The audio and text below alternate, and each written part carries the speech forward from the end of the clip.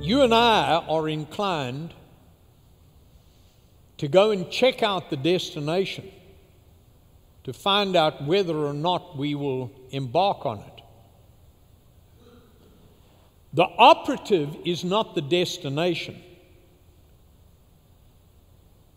The operative is determining that that's what God tells us to do. Knowing the will of God is jolly hard to do. you don't just roll out of bed in the morning. Very difficult. It's arduous, especially considering our feelings, things that are important to us, all the issues that we deal with. Abraham and Sarah embarked on a journey with no destination for them, but God knew. Second thing that we can consider about Abraham and Sarah is that they were promised a nation without an heir. Now, that's a nice how do you do. Just wrap your mind around this.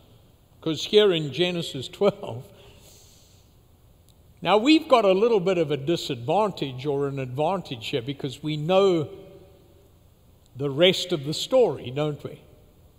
So, could we just lay aside knowing the rest of the story? We've got the story. We see how it all worked out. Could we just kind of go back? God said to Abram and Sarah, You're going to be a blessing and the father of many nations. Yeah, right. Where are the people? By the way, that brings me to the third point.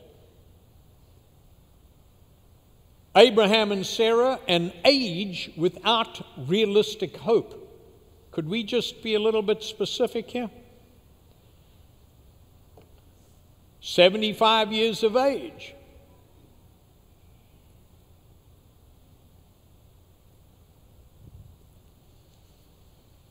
I mean, my wife and I are not even anywhere close. But you want my wife Karen to break out in a total panic? And tell her she's going to have another baby.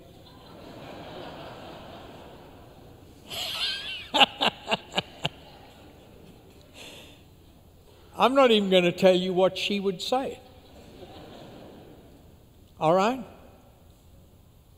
Folks, just do you get this? You talk about faith. Abraham and Sarah, practically speaking, biologically, physiologically, were beyond that age.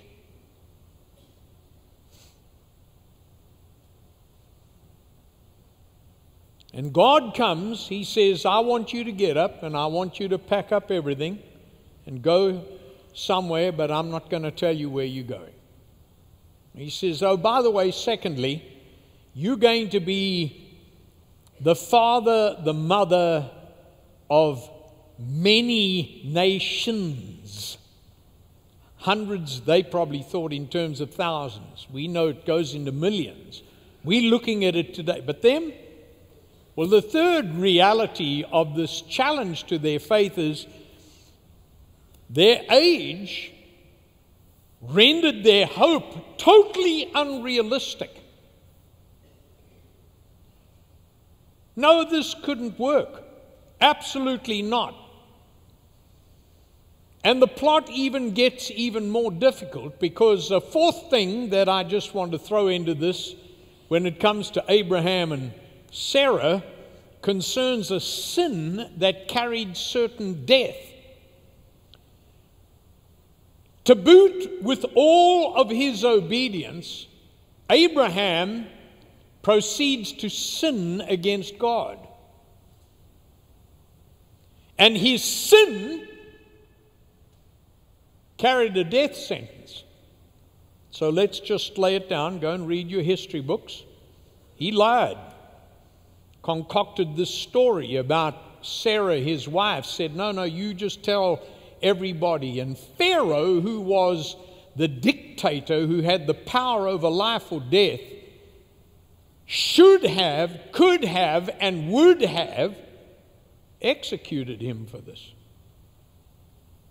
Listen, back in those days, people were put to death for a lot less offenses than that. It carried a death sentence. His faith was being challenged at the very core of life and death.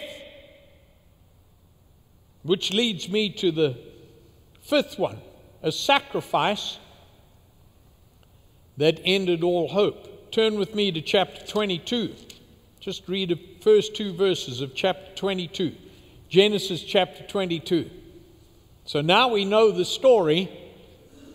Well, a miracle takes place because God said it. And they have a boy, and his name is Isaac. Can you imagine how much they cherished this little fella? In our day and age, there was a lot of stock riding in Isaac.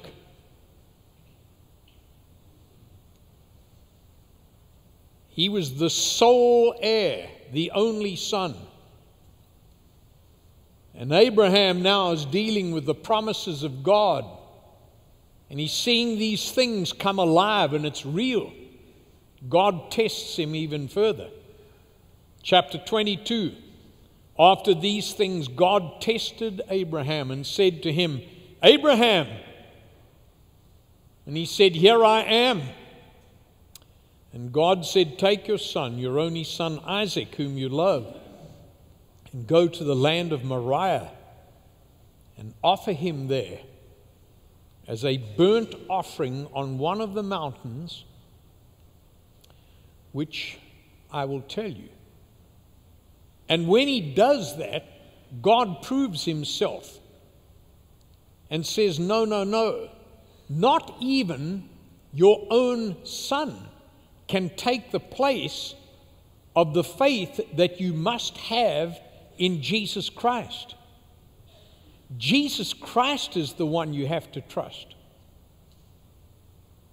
He's the sacrifice. You got to place all your faith and trust in Him. So, what is about the test of faith? Let's, let's just extrapolate this together couple of things to think about here today. First of all, the test of faith evidently does not depend on the outcome.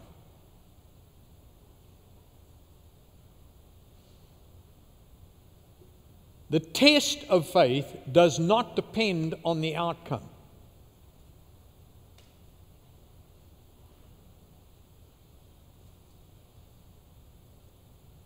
We don't do what we do based on what we believe it's going to produce when God says it. And we are a community of faith. These things are slipping in our world, folks.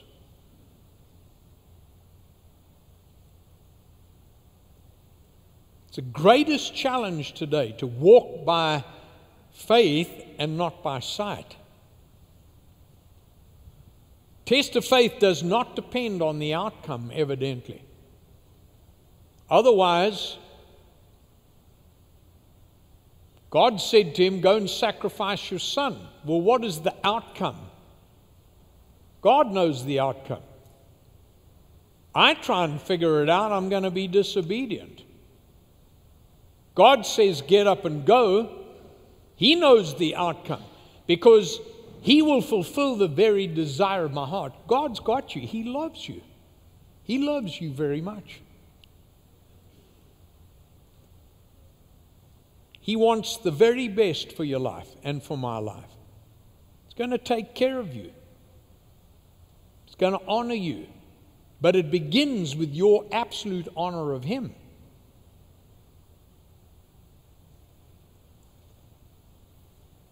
The test of faith, number two, does not detract from the joy of simple trust. simply trusting Him sounds rather contradictory, if you would ask me. But the simple faith and trust that we have in the God and Father of our Lord Jesus Christ brings such joy to our hearts. Faith does not depend on the outcome, and faith does not detract from the joy of simple trust. Third, here's a good one faith does not diminish with age. Who, who, Christian, fellow faith believer here, who sitting here right now, you've reached a certain age and you've stopped faithing? You've laid it down, man. You said, That's it. I've lived as a man, as a woman of faith, but now I've retired. It's over. I don't do it anymore. I don't serve. I don't get involved. Evidently, Abraham and Sarah got a good dose of older age faith, don't you think? When does faith stop?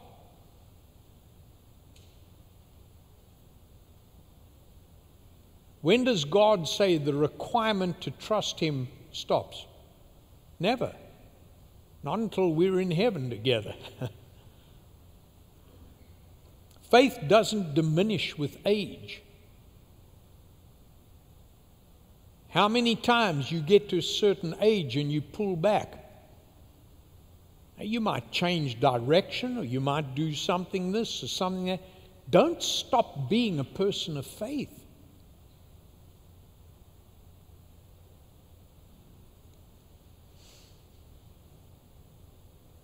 You need faith in a nursing home as much as you do throughout the fabric of your life.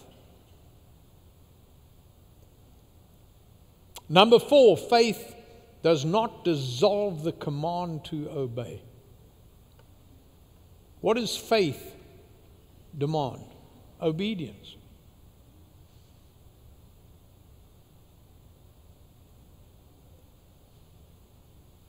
The singular job of the church of faith is to know the will of God and to do it.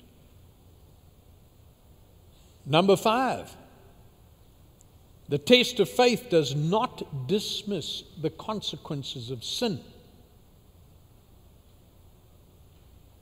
Sin has consequences.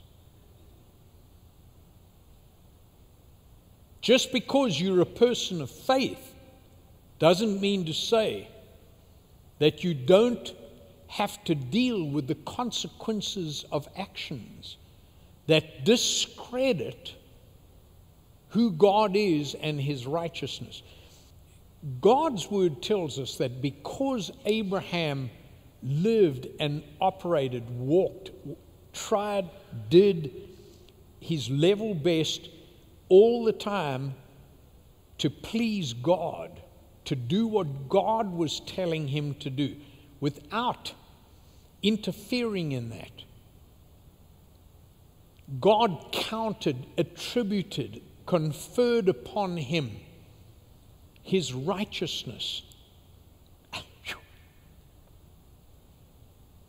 And, and, and in a rough interpretation of that, God just blessed him with the splendor of God's presence and glory because he was a man of faith. You want to be counted for righteousness? You want to be conferred?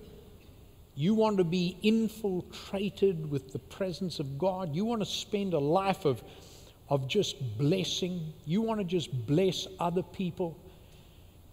You, you want to leave a real legacy of your life, be a person of faith. Now, we can leave legacies, we can leave trophies and money and motor cars and homes and, and all these kinds of things, and all of these things are wonderful. Do you want to, the most powerful legacy you will ever leave is as a person of, of faith. Your children and your children's children will rise up and call you blessed. You will be the blessing of many nations.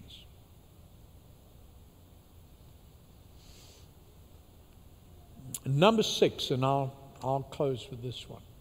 The test of faith does not divulge the mystery of God.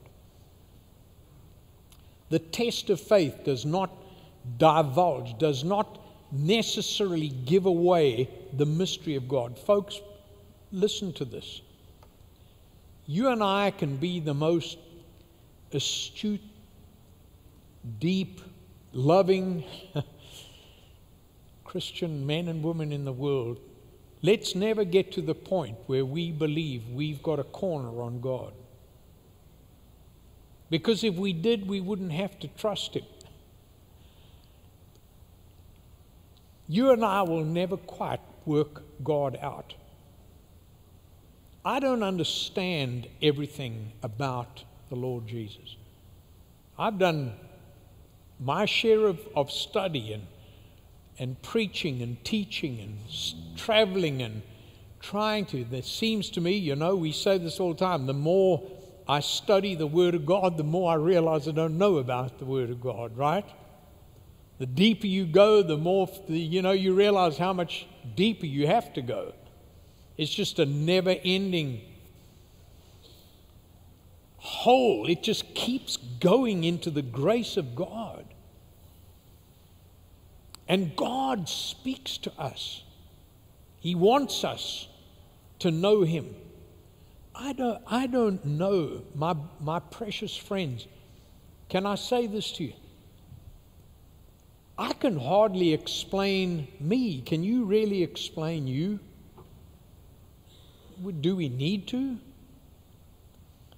I don't, I don't, I cannot fully understand why God has brought me this or done this for me I don't understand how the Lord brought such a beautiful lady as my wife to me. I don't understand that. But He did. I don't, I don't understand that God would give me precious friends like you. I don't understand why God would allow me the privilege of, of sharing the Word of God, or teaching people, or loving. I don't understand that. I, I can't give you all the explanations, but I know that He has.